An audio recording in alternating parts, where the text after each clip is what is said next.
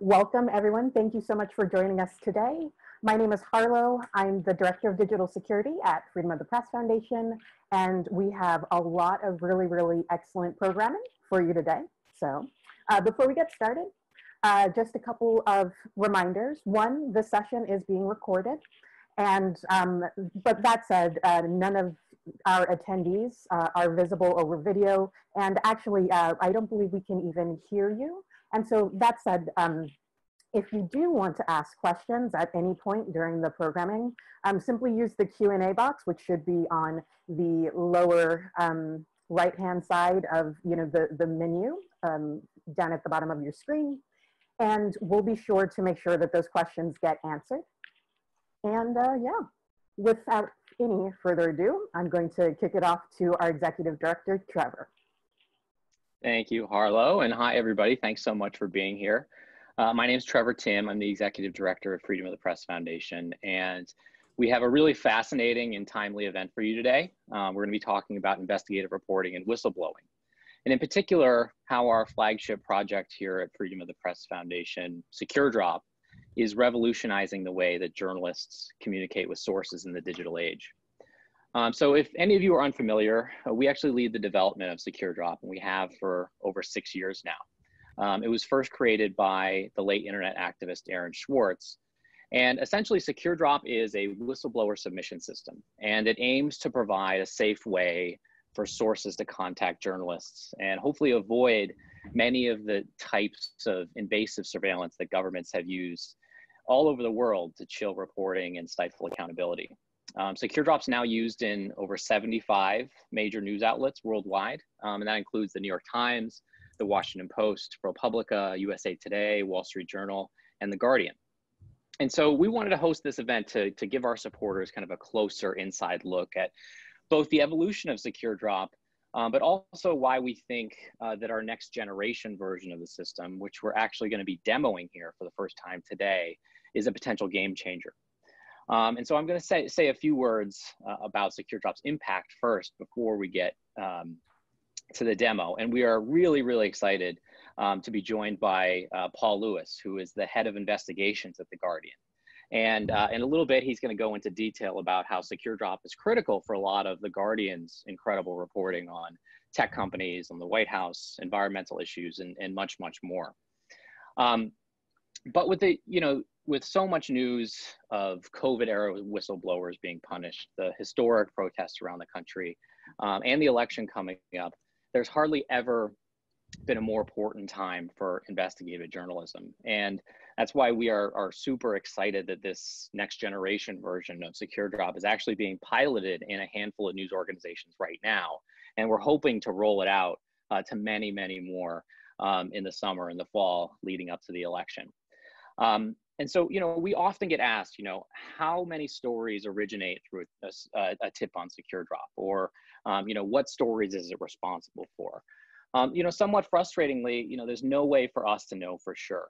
Um, and that's because the way that SecureDrop is designed, it means that we are essentially, while we build the software and help news organizations install it, and train them how to use it, we are actually locked out of the system uh, after it's installed at a news outlet, and only they know. And that's for both their protection and for ours. Um, but here's one example that I, I can share with you. Um, so on October 8th, 2016, um, the Washington Post published a, a, a quite shocking story. Um, David Fahrenthold, who is uh, one of the Post star reporters, um, and who actually later would win a Pulitzer Prize uh, for this very story, obtained a secret tape from Access Hollywood. And you actually probably know the next part of this story. Uh, on the tape, a presidential candidate by the name of Donald Trump was actually bragging uh, about sexually assaulting women uh, years earlier. Um, it quickly became the Post's most read story of all time, and it sent reverberations throughout the political establishment. Um, and it was actually the single most important story of the 2016 election, at least at that moment. But here's what a lot of people don't know was that on the very next day on Twitter, uh, Fahrenthold was responding to, to some of the, the readers of his story um, when he was asked about safe ways to get in contact with him for more reporting. And he said, I quote, the Washington Post's homepage has a secure drop function on the lower right. And he added, end quote, it works, I know, strongly insinuating that actually he had received uh, this tape um, through the Washington Post secure drop. And Fahrenthold now includes a secure drop link in, in every single note that he sends to potential sources, including uh, many members of the Trump organizations, which he covers almost exclusively now. And so many uh, journalists have similar stories. Um, unfortunately, we'll actually never know those stories because it's important for journalists to protect their sources even after, years after sometimes uh, stories come forward. Um, but uh, it's also why I'm so excited to hear from, from Paul Lewis and The Guardian today, because I think they do um, some of the most um, incredible reporting uh, that exists today. Um, and so with that, I'll pass it back over to Harlow, and uh, she will host us for the rest of the afternoon. So Harlow, take it away. Thank you, Trevor. Uh, as Trevor said, uh, we are going to have a hopefully very uh, stimulating discussion with Paul Lewis.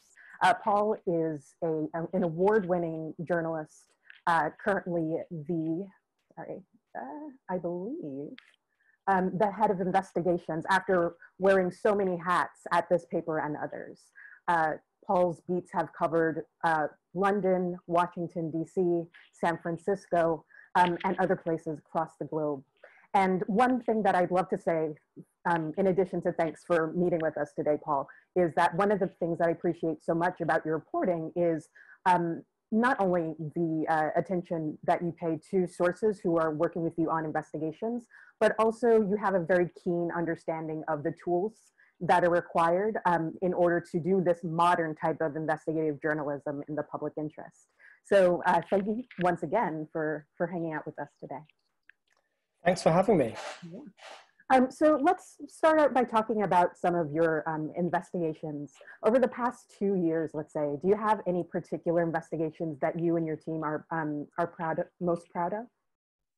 Well, um, I mean, uh, look, The Guardian has got a long, uh, I, I hope quite impressive history of working on some of the biggest investigations around, you know, from uh, Edward Snowden's disclosures over the NSA to WikiLeaks to the the, the, the phone hacking uh, investigation that did so much damage to the Murdoch empire. I've only been head of investigations uh, for a few months now. Um, you mentioned my previous roles. I was seconded to, to San Francisco, to, to Washington.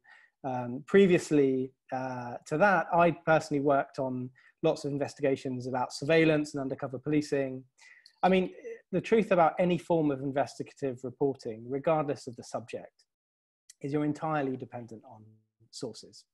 And, um, you know, increasingly, Trevor rightly said at the top uh, uh, of his remarks that, that one of the concerns that we have, of course, is protecting our sources' identities from uh, governments uh, who may want to know who they are. I would add to that increasingly corporations too. Um, and the, the, the more difficult and complex and heated an investigation becomes, it's usually the case, the more aware we are of people who are maliciously trying to find out who we're talking to and why. And, and in that context, you know, uh, as sanitized and confidential uh, an encounter you can have with the source, the better, really. So we, we take it really, really seriously. We're very careful with our internal communications. We're very careful with our communications with sources. And in that context, um, secure drop is absolutely indispensable. Um, I mean, it's a regular part of everything. So I'm going on to answer questions you haven't asked, but, but let me just say this because I'm I, I, do feel quite strongly about this. You know, um, Freedom of the Press Foundation do lots of stuff. It's not just secure drop, but but secure drop is has become such an integral part of the way we work now on a daily, sometimes hourly basis. Really? And yeah, and um, and while it is true that we, like other news organisations, cannot say which stories Secure Drop uh, was sort of contributing to, um, there are a lot, and they happen on a quite a frequent basis. Mm-hmm. And I, you know, I don't know how we at the Guardian would be able to do the work we do in a world in which secure drop or something like it didn't exist. Um, has any of this uh, um, impact changed now that you know everyone is working from home um, teams are now more remotely distributed and sources themselves um, are not going to have, you know, or might not have all the tools that they need in order to establish uh, safe communications? Yeah, that's a really good question. I mean, um, you know, there's some technical issues to do with the back end of the system secure drop, which means we do, you know, we, we, we need some some sort of in-person presence in the office from time to time, which we've been able to do uh, during the pandemic, which has obviously been helpful. Um, you, you, know, I, I think I think the pandemic has affected different types of sources in different ways. Um, I mean, I'm reluctant to go into too much detail, but but but look, one of the advantages of people working from home uh, is that if they are whistleblowers and they have information that is in the public interest that they want the public to know about, they want to contact a journalist, they want to think of creative ways in which they can securely transfer that information to mm-hmm. us. I mean, to, to put it really bluntly, it's quite helpful that they're at home and not in an office surrounded by CCTV cameras and you know workstations and computers that are monitored. So I think it has probably created a bit more freedom on the part of sources and whistleblowers. And I also think that we're just in this, and I'd be interested in your thoughts and also, you know, people who are um, involved in this in this seminar, whether people agree on this. But but but but to me, it seems that we're just in this this moment of global transition. You know, this is a, a massive disruption to the way we live, and and in, and the repercussions is just it, it, travel in so many different directions, affect so many aspects of how we live. That I think it's just if you're a journalist in this moment, there's a lot happening, and you know we saw a big uptick in the number of submissions we were getting into secure drop um, when the pandemic struck. Um, I mean, three or four times as many as we would normally receive.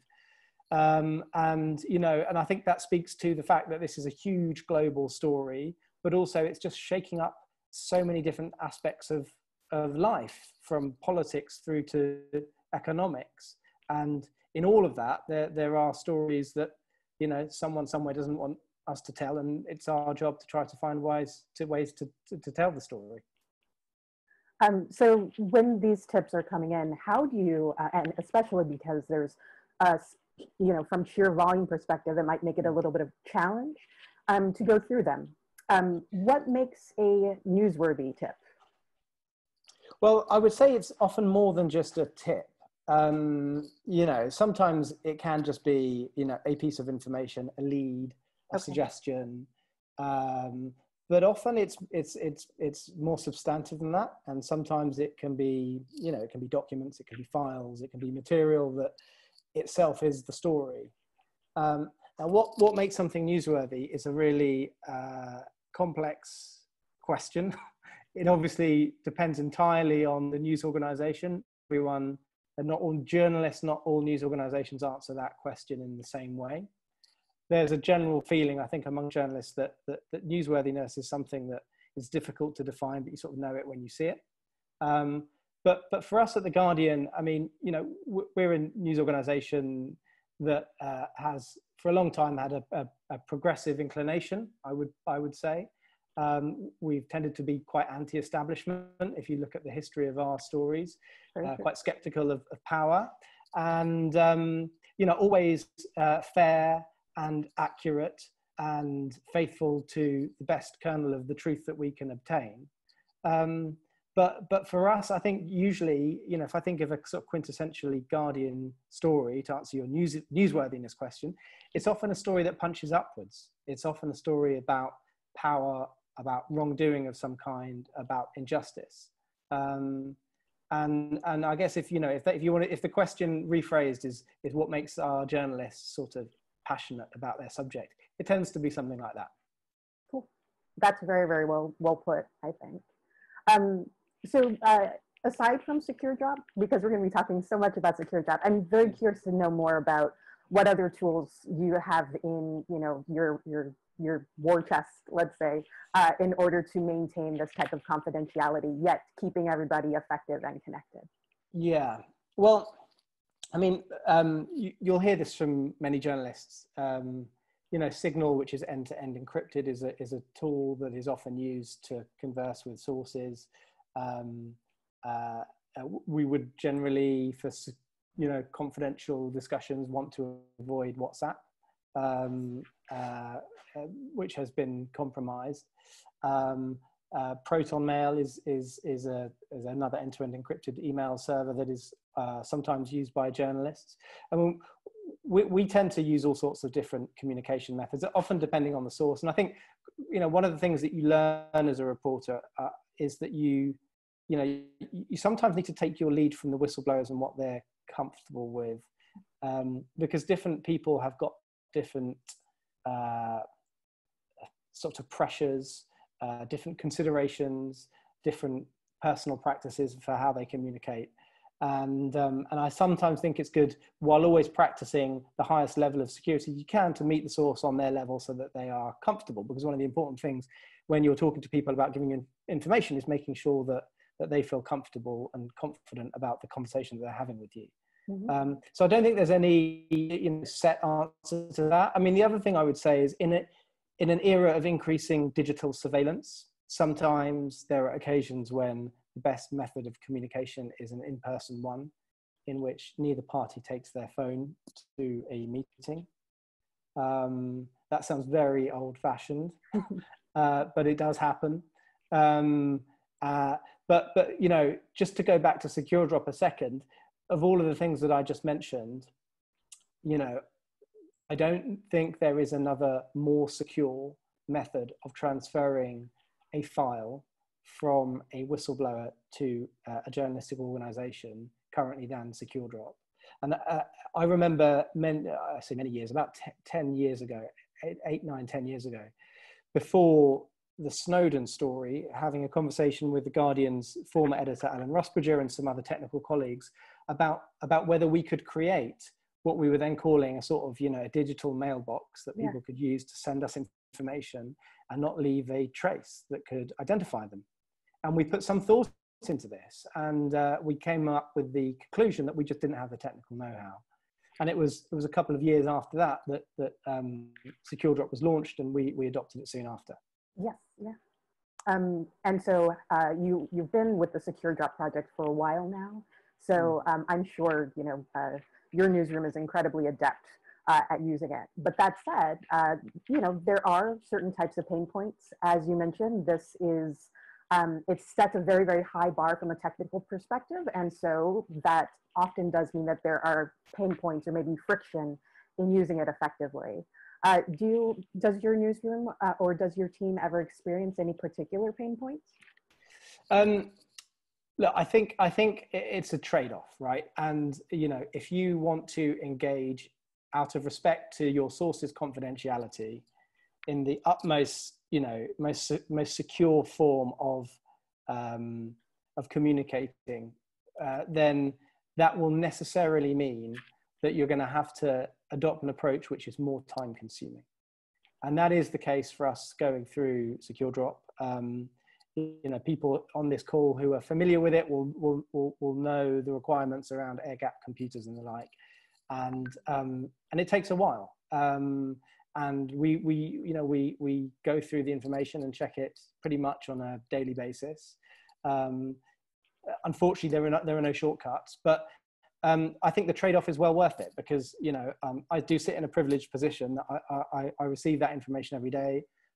I you know sometimes um, disseminate that information to reporters and journalists around the newsroom uh, who can who can push the investigation forward or maybe turn something into a story. So so from my vantage point, I see the stories that emanate from this portal.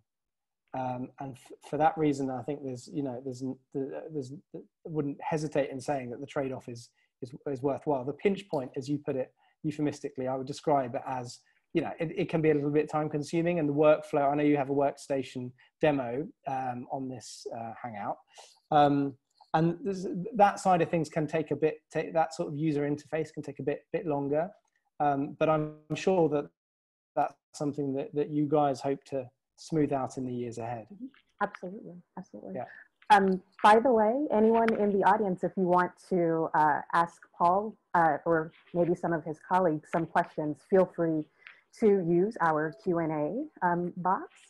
Um, in the meanwhile, though, uh, another question that we um, often uh, in digital security trainings, often consult other journalists and other newsrooms on are, um, you know, how to enrich the, the feature set that we currently um, support. So Secure Drop, um, it's, as its name would suggest, it focuses a lot on the actual connection and communication between uh, newsroom and, and sources. Uh, but the stories never stop there. And uh, historically, or at least from my perspective, when we are training news orgs on how to use Secure Drop, uh, we pretty much can only get them to the point that they've um, received a submission and then we just kind of have to leave them. But we want to change that from so many perspectives. Uh, does uh, have you ever had any conversations about um, you know uh, other features that we could incorporate to help you out a little bit more as stories develop? Yeah, I, I think I think um, it's a really I mean it's a great question. I have to say um, it's really impressive from from my perspective as well that you guys are thinking about ways to improve improve secure drop. You know, I mean it's a great sign that that, that, that you want to make it better because it, it works great as as things stand. Um, I, I would say that one of the things that see some of the challenges i'm not sure whether there is a technical solution to um, so you, you, know necessarily because you have the process that you the protocols that you have in place to maximize security and anonymity um, you, you don't want a situation where you're for example you know alerting a whistleblower or source mm-hmm. sending them a message on their phone for example to give you a, a, clunk, a clunky example to make the point saying you know your secure drop has been uh, received and is now being reviewed um, because obviously you know so suddenly that there's going to be a trace. So um, some of the things that we would in theory like to see um, i can understand why it would be hard to implement. You know a more regular method and easy to use method to sort of communicate with sources is always helpful. I mean sometimes we have to take conversations away from secure drop and we take them to other places. Mm-hmm. um, and often you know I, I would put a, an onus on conversation because one thing that can be very difficult in our profession is when someone just um, you know sort of drops something and then uh, vanishes and you never hear from them again. Um, and often the process of verification uh, and finding out more if we can about the nature of the submission and why the person's got in contact you know answering questions that we'll inevitably ha have. All of that is reliant on an ongoing dialogue if we can get it. So, so our preference would, would always be, I think, to be able to have an ongoing dialogue which is as frictionless as possible with a source. But, but we recognize that, that from a technical perspective, if you have a system that, um, that prioritizes anonymity and confidentiality and security, then that's not always going to be as, as frictionless as we might want it. Fascinating. Um, I guess another question that, uh, that I have has to do with uh, the role of, let's say, metadata. So meaning when you receive a submission, um, you know, printing the original version of it could lead to potentially disaster um, if you're still leaving like bits of information embedded that we aren't really trained to see inside the document. Um, yeah. What uh, do you have any like tips for um, you know, um, possibly cleaning those things up and what works best for you? Yeah, well, so I, I say a couple of things. I mean, one of them is um, I, I'm very lucky that I have um, some very technically skilled colleagues who are much better at searching for metadata in documents and files than I am, and much better at cleaning that in the event that we would ever want to make anything public. So I'm not one of those people myself, um, so I'm not sure I would give you a technical answer to the question. I would say that that generally speaking, we it, just in the same way that we don't say when a story is emanated from some submission via secure drop that it came via secure drop. We also generally tend, you know, not to publish uh, documents or files that have been submitted to us without really thinking through whether that's necessary and, and, and without being completely sure that we don't think that's going to compromise a source. So mm-hmm. we whenever we do that, we're really careful about it. Mm-hmm. Those are um, uh, decisions that you can't be capricious about making. So uh, thank you. Um, yeah. yeah. Uh, I really, really appreciate having the opportunity to talk to you. Um, and we admire your work so much. And um, thank you for your vote of confidence. And Freedom of the Press Foundation is working very, very hard to continue to support uh, you, your team, and journalists who are doing this amazing work. So thank you so much, Paul. Cool, thank you. Thank you. Okay. Um, also, Paul is going to be around with us. So if you do uh, think of a question um, or are inspired to ask something uh, based off of other things that you've seen during our demo and, and other parts of the presentation, feel free to use that Q&A box. Um, but in the meanwhile, I think it's kind of uh, the perfect time to uh, introduce Mikhail, Connor, and Ro, um, who are going to be showing you the demo of the new Secure Drop workstation.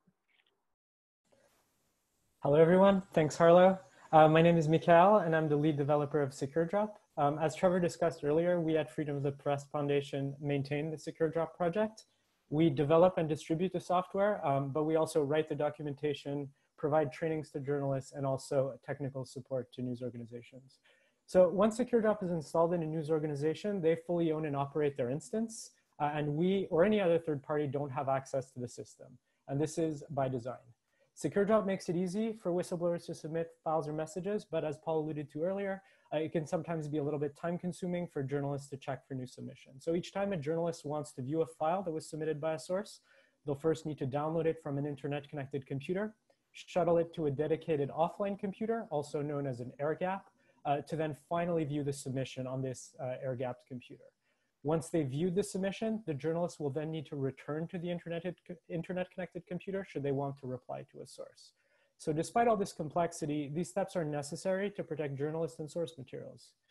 For a news organization receiving anonymous submission, sometimes the concern is not only third parties, um, but also hackers and state-sponsored attackers. Uh, and Paul mentioned earlier, perhaps even uh, large corporations.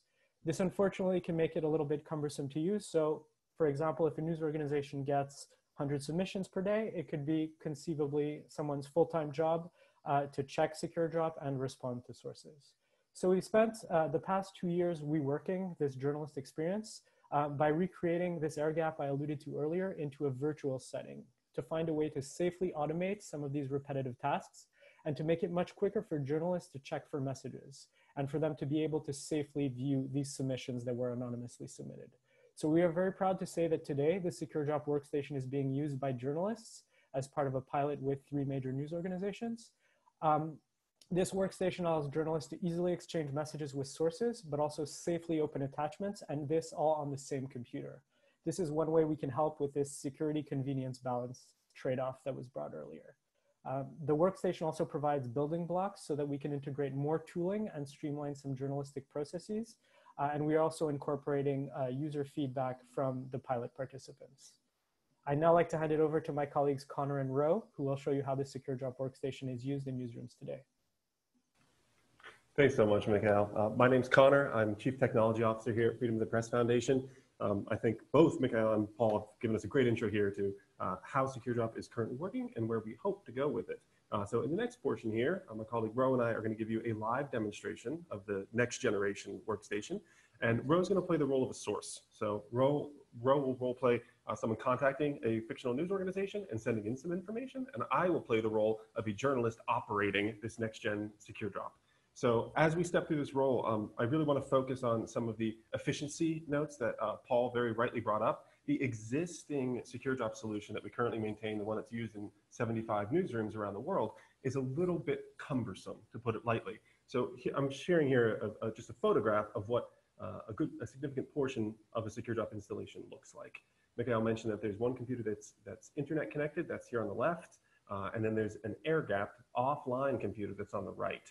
And so a journalist will download the encrypted submission on the computer on the left, and then transfer it via USB stick over to the other one to actually see what was sent. And then if they want to write back, they have to switch back to the other machine. So that ferrying back and forth is something that we're really working hard to streamline while we still want to maintain the same security controls that's absolutely uh, critical in this project in particular. And the workstation has allowed us to do that in a very efficient but still safe way. So with that, um, I'll pass it over to Ro, uh, who will show you what it's like for a source uh, to experience SecureDrop. Thank you so much, Connor, and hello, everyone. Uh, my name is Rowan. I'm the Newsroom Services Coordinator at Freedom of the Press Foundation. I work with the SecureDrop team and the Digital Security team. Um, but today I'm going to take off that hat for a moment and step you through a whistleblower experience of what it's like to submit to SecureDrop.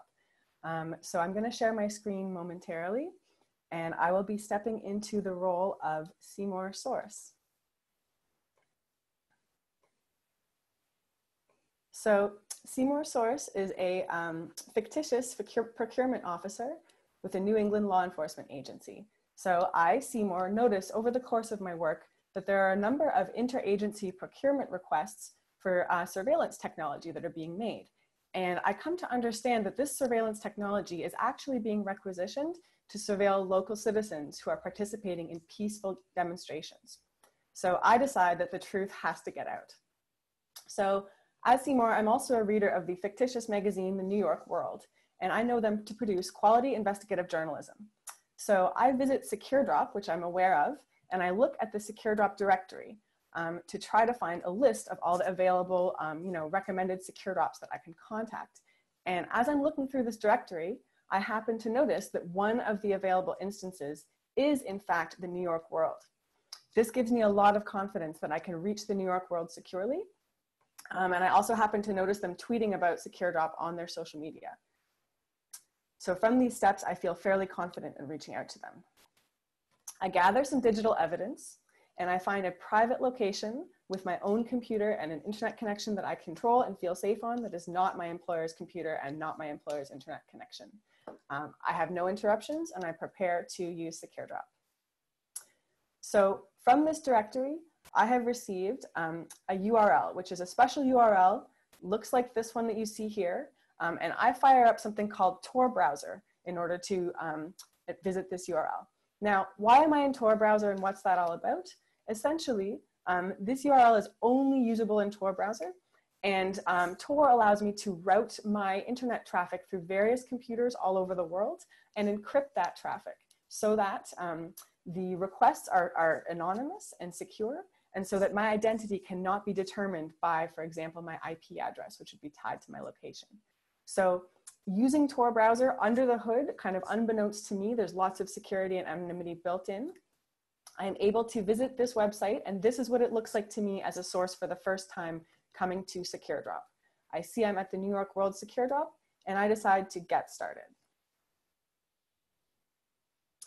You'll notice there is a slight bit of latency as my travel is routed through the Tor network. So this demo is in fact happening in real time. Here I am at the initial screen. I'm presented with a passphrase, which I can use in the future to log back into SecureDrop um, and check if the journalists have responded to me. But for now, since this is my first time, I'm gonna go right ahead and submit documents. And now I get to think about what I want to say to the New York world.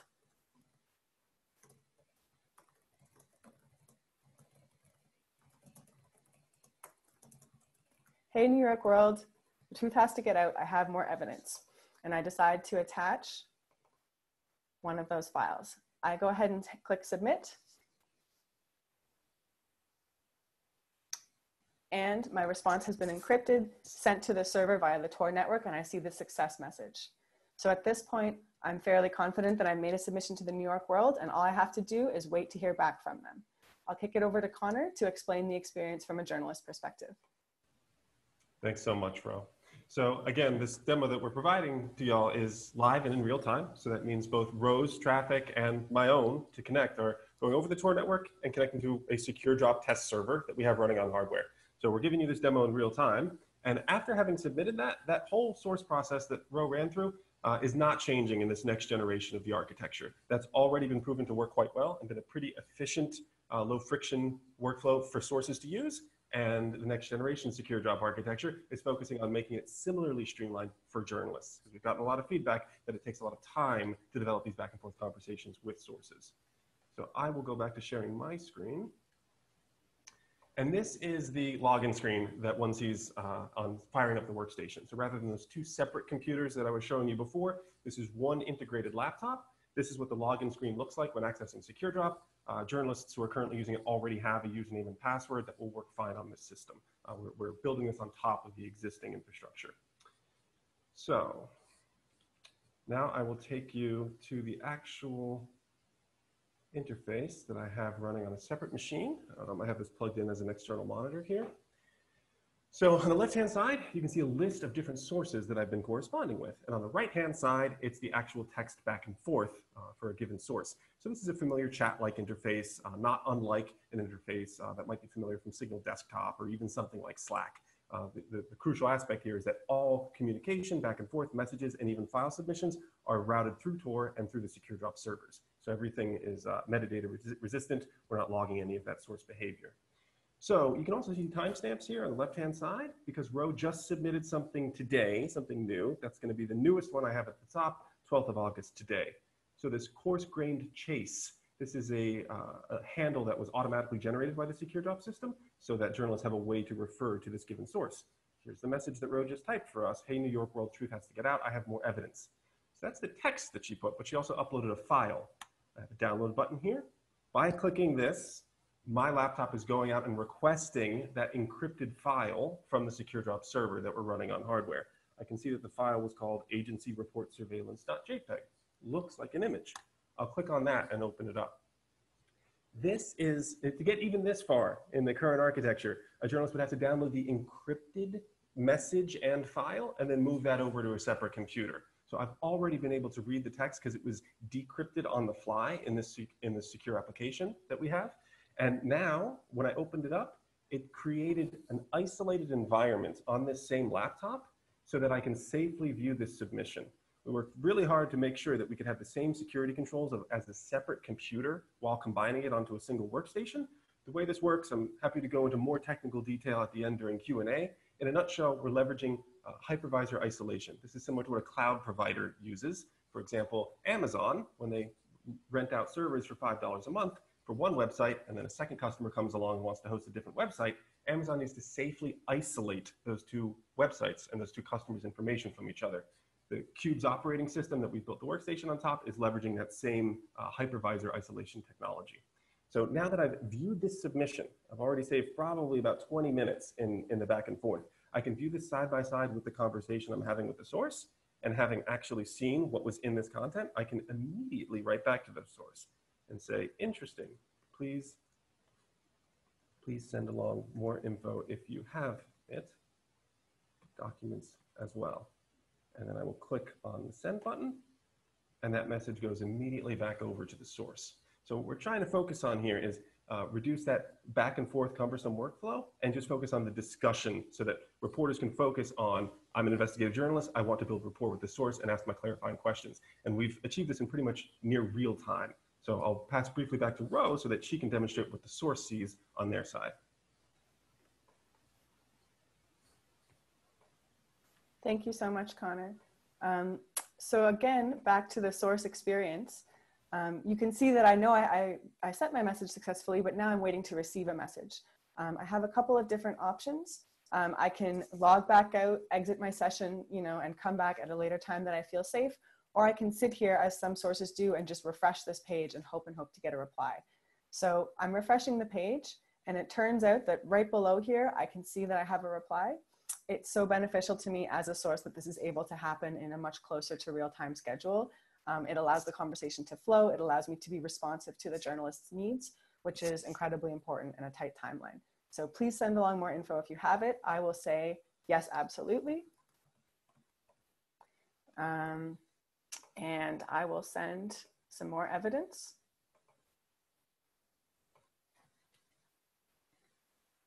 Just waiting for it to send and now I can see that it was sent. So I am able to, I'm gonna log out for now. That's enough that I'm doing as a source at this time. Um, and I will actually pass it now over to Harlo. All right, hello. Uh, thank you so much. Uh, there's been a lot of excellent work going into this uh, into this project now, and it's at, like it blows my mind away every time I, I see a demo. Um, it's gone so far. Uh, so, well, let's talk about like the process, um, Roe, Connor, Mikhail, of getting to this point. I know that your team has been working incredibly, um, incredibly hard here. So, um, what um, what has that process been like uh, in designing this new workflow? Sure, I could I could start with with responding, and maybe Connor, you can uh, chime in afterwards. Um, we we had the idea of of de developing um, based on this Qubes operating system for a while now. Um, as part of the development in the early days of development, one thing that that we that we uh, did as part of the design work was to um, enumerate and describe all the potential threats um, that a system like this would um, would have. So uh, during the design phase, really deeply analyzing um, some of the security considerations of building a tool like this. Based on uh, this analysis, uh, we've we've architected uh, the the um, different virtual machines inside the system um, and various components of the system based based on this analysis. Um, and then uh, about a year ago, um, undergone a, a security audit by a third party company just to validate some of the assumptions and to ensure that some of our um, security analysis was um, uh, to, to, to, validate some of our assumptions on the security analysis. Connor, would you have anything else to add to that? Sure, quickly, I'll just tack on. Um, yes, we're, we're very pleased with the architecture as it's coming together. Um, the classic secure drop model has, has been audited several times by external parties, and we even have completed an audit of this next generation workstation as well. The report came back glowing. Uh, we, have, we have that published on our, on our secure.org website as well. And one thing that we're coming to see as we get this into newsrooms uh, in the pilot program, so a very limited subset of secure drop users are, are currently testing the workstation. And what we're seeing right away is that the, the feedback has been uh, resoundingly positive in terms of, hey, I'm saving a lot of time here. Like I really get to focus on what I do. Mm-hmm. And one piece of feedback that keeps coming up is uh, as folks shift to working from home more, um, th- that's really informed the design process. We're interviewing folks and saying, hey, how is this working? How is this developing? We pressed forward with the pilot, even though everybody was switching to a work from home model earlier this year. And it turns out that was um, a, a, really fortunate coincidence uh, for all involved. Uh, one thing we're hearing from journalists is hey, I used to have to bookmark like half a day. It was like pretty much a full time job for somebody to be checking secure drop when there were multiple ongoing investigations. And now, as part of this work from home environment, someone is able to have a dedicated computer. They no longer need to go into a secure office and access a secure room, check out some hardware under lock and key. They can instead use this dedicated laptop and they can boot it up in the morning. And we've had folks report to us, hey, I now check secure drop over my morning coffee as I'm going about checking with my other colleagues. So that's great feedback so far, and we're very much hoping to extend the platform from there. That's awesome. Um, you've been mentioning a couple of terms that uh, sometimes I get a little bit confused by. Um, so I, I, know that we are using this new operating system called Qubes, and it works with virtual machines. Um, is it going to be, uh, do you anticipate that it'll be uh, hard for people to, to adapt to this new operating system? Great question, Harlo. It's always a concern uh, that we have when balancing, you know, do, do we invest more in, in training and education or, or, or do we say, hey, we'll build something custom here and then show folks how to use that? It's always a balance we need to strike. Uh, we're, we're in a pretty good position with this next generation of Secure Drop because historically, anyone already using Secure Drop is already using a custom operating system. Uh, currently, that's Tails. So for both the secure viewing station and the journalist workstation in the current architecture, uh, journalists are live booting into a USB key on dedicated hardware and then navigating this Linux interface. So the, what we've been able to do with the next gen workstation based on Qubes is actually have a more holistic, cohesive experience that operates a lot more like a traditional desktop computer um, that people would expect to interact with. And the fact that they no longer need to ferry encrypted files around and manually decrypt them over USB keys on an offline computer has really simplified the workflow. That's something yeah. that's come up pretty consistently in our feedback. Yeah. Um, in using Secure Drop, uh, you're definitely introduced to a lot of um, terms and concepts like keys and you know air gapping and all that stuff. And it does absolutely seem that you've made these things as transparent as possible to the user in a very effective way. Um, but none of these things have gone away. Am I correct? That's right. Uh, it was it was critical to us in order while while we certainly have always want long wanted to make this a more efficient process, we were not willing to sacrifice the security controls that has made Secure Drop successful and so valued. Uh, sources have learned to trust Secure Drop because if the newsroom implements it uh, safely, it's, it's going to be a reliable method to retain their anonymity and to communicate uh, securely. So even pulling in uh, a major architectural change like the Qubes workstation, we wanted to make sure that we had those same security guarantees. And we're very impressed with that. And uh, so far, the external audits we've had to date uh, very much validate the approach that we're taking, where the secure, isolated environments that we have for viewing submissions uh, sufficiently separates everything from a security perspective so that even the GPG key and the application uh, that I showed on the screen that actually has source messages, as well as documents being opened, all of those are happening in separate environments. That is uh, a rather uh, comparable analog to the separate machines that we had.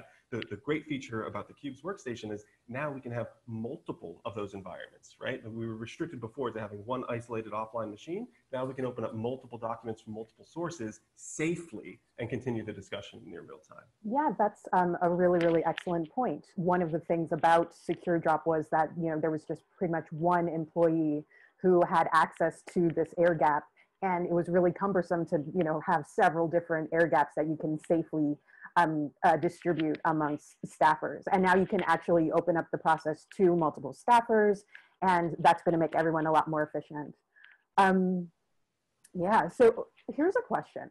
Uh, can Secure Drop or maybe even Qubes or anything like that work as an alternative for um, uh, currency or even accounting that can be hidden from uh, a fiscal perspective? To like unlink from bureaucracy. And I guess my follow-up question would be like, can I put Bitcoin on it? I see. I, I, I believe I appreciate the question. Um, please, who, who's asking that, feel free to rephrase uh, if this answer doesn't address it. Um, what, what I hear in that question is uh, some mention of uh, the, so SecureDrop is using the Tor network. Um, and that's basically the, the platform that allows for anonymity at the network layer because um, if you just, if one navigates to NewYorkTimes.com, that's left a metadata trail for your internet traffic, right? You check that from your office, you check that from your home network. Um, not only does New York Times know where you were when you access them and could maybe later be compelled to divulge that information, uh, but other people on the network, primarily nation states or other attackers, would be able to view that. So we use Tor to make sure that that traffic is routed randomly around the world and near impossible to reconstruct who said what when. That's the value of Tor. So Tor is one piece of technology that we're pulling in here that's already well vetted and well reviewed that we can then extend for a specific purpose, that being secure uh, journalist source communications in this case. Um, in, in, terms of currency, SecureDrop has no role in that directly. We're leveraging Tor to communicate the, uh, the, the, traffic in between it. And the, the, the SecureDrop servers are dynamically encrypting anything that they get. That, that's how we were able to leverage this air gap, this separation of the encryption key material, because every time the server receives anything, it immediately encrypts it to a public key, and that private key is stored separately. That means that even if a government were to break down the door of the New York Times or the Washington Post and say, give us your secure drop servers, well, there's not really any information on there for them to get off because it's all encrypted. We, we've designed that intentionally that way. That led to, uh, contributed to some of the cumbersomeness of the architecture, and that's what we're trying to address here with this new workstation. So I, I hope that addresses your question about uh, any potential application for uh, currency. We're not leveraging those specific technologies here, um, but uh, ha happy to expand on that comment if you rephrase. Um, well, I mean, that does beg the question, uh, what other tools might um, you uh, outfit the Secure Drop workstation with? Um, it may not be Bitcoin, but it could be. Um, but maybe it could be uh, other tools that uh, journalists use to communicate over um, other methods. So uh, Paul mentioned Signal, for instance. What's the possibility of doing something like that? Uh, we're very interested in exploring that. Um, early on the pilot, we're getting a lot of feedback where uh, folks do have a need to use Signal. I mean, there are a couple applications for that in the newsroom, as you well know, Harlo. Um, internally, uh, like an investigative team, um, frequently geographically distributed these days, uh, will need a way to discuss what they're working on, and that needs to be end-to-end encrypted. So one common need we're seeing is that folks will be interacting with uh, Secure Drop, communicating back and forth with the source, but then have a few other colleagues who may not have direct access uh, to the Secure Drop system. And so those folks will use a, uh, a, signal group with disappearing messages. And so only their investigative colleagues are on that group. And the small bit of metadata that's leaked to a passive observer is basically, hey, a bunch of journalists at The Guardian are talking to a bunch of other journalists at The Guardian, right? That's, that's fine. And they can leverage that tool to discuss the source, recommend other questions, even share documents. So that export workflow is something that we're very interested in hammering out. Um, there's also been a longstanding ask for, it came up earlier in today's discussion, uh, metadata redaction. Um, there, there are common workflows that one can apply. One of the problems we've experienced with the current secure drop architecture and its air gap is that while very secure and isolated, it is quite difficult for us as developers and maintainers of the project to ship updates and even feature sets that uh, improve on what's possible with Secure Drop to that offline computer.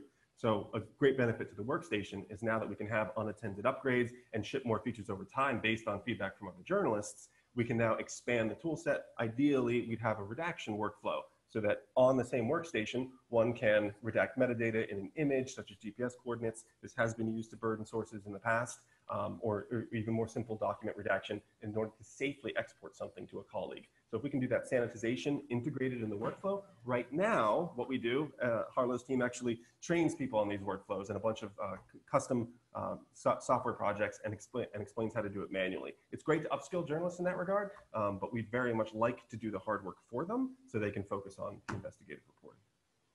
Okay. Um, thank you. Uh, oh, so finally, let's take one more question. Um, actually, this is for Paul. Uh, what, what do you think? This is your first time seeing this, uh, and do you have any uh, initial uh, uh, impressions? Um, yeah, can you hear me okay?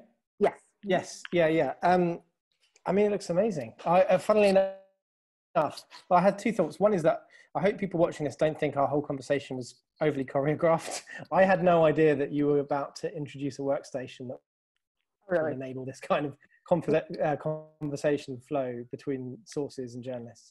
I mean, it, it, um, it will make things a lot more, um, a lot less time uh, consuming for sure, less cumbersome, less friction. So, um, I mean, I, it, one way of thinking about what we do is um, is we've only got a finite amount of time obviously. And we have to decide what we want to spend our resources, our time on. And, and the great luxury that investigative journalists have as opposed to other types of reporters is they get more time. Um, but, but, but the work is, the, the, you know, the work outside of the source cultivation um, can be very um, complex, uh, time consuming, laborious, frustrating. So so actually the, the more time we get as sort of Connor suggested the more time we get to focus on that side of things the better and and a system like this could could could really mean that because it is right to say that um, that you know doing a, a, a decent job of checking secure drop every day and communicating with sources if you're a major news organization like the guardian new york times the post you'll get lots of submissions so so doing that justice just takes a long time we have um, it's not just me who does it. The Guardian. This you know we have a, a, a team, um, and they are sort of technically minded editorial team. Um, but they work with me, and there are sort of six people who we sort of share the burden of of, of, do, of going through it all. And this will make a a very significant difference. And actually, as we I was watching this presentation, I was I was chatting with my colleague who runs that team, Luke Hoyland, and I can tell you on his behalf, he was very excited too. That's awesome. Yeah. Great to hear. Yeah. Um, thank you. Cool. Thank you, everyone, for this conversation. And uh, right before we wrap today, um, I'm going to kick it over to our Director of Development, Louise. Hi, Harlo. Thank you. Can you hear me okay? Um, I'm great. Great. um, thanks, everyone. I, as Harlo mentioned, I'm Louise Balsmeyer. I'm the Director of Development at Freedom of the Press Foundation. Um, a big thanks to my brilliant colleagues for outlining the next generation of Secure Drop. We are so excited to get uh, moving on this. And thank you so much to all the attendees today for taking the time to listen in and learn more about our work. I did want to take a minute to note the financial aspect of the Secure Drop project. Um, obviously, a lot of money has gone into developing the, the next generation. Um, so it takes just over uh, $1.2 million to maintain and develop Secure Drop every year, which is about a third of our annual budget. Um, we do receive a small amount of revenue from news organizations who use it, but not it doesn't come even close to covering uh, the total of all of its expenses, which is why Secure Drop is mostly funded by the generosity of individuals and foundations. Um, particularly during this time, as everyone mentioned today, many news outlets have been forced to work from home during this public health crisis. And it's meant that they have not been able to access their secure drop um, and many others have not been able to check it with the frequency that they used to. Yet investigative reporting is needed more than ever now. Um, and reporters desperately need secure drop um, and many newsrooms are reaching out to us, urgently asking us for help to figure out what to do, both during this crisis and beyond. And so this next generation of Secure Drop, which we demoed for you today, really is the answer to this problem. But in order to get it in the hands of as many newsrooms as possible, we are in need of funding to accelerate its testing, development, and deployment to help as many journalists as we can. And in turn, help society get the information that we all desperately need right now. So supporting Secure Drop is really the very best thing you can do right now to help journalists in this country. And I just want to thank all of our current and longtime donors uh, who have supported this program thus far. Um, it's really meant the world to us. Um, if any of you today would like to make a gift to help the Secure Drop project, uh, we would ask that you please reach out to either me or Trevor Timm, our executive director. Um, you can also go to freedom.press slash donate if you'd like to donate online to support us. Um, and with that, I think uh, I'm wrapping it up today. So thank you all. Please stay safe out there and, uh, and thank you for joining us today.